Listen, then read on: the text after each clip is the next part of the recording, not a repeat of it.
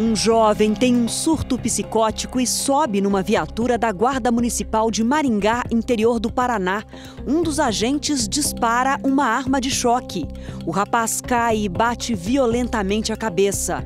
Ele sofreu traumatismo craniano e segue internado. Uma investigação foi aberta pela Guarda Municipal.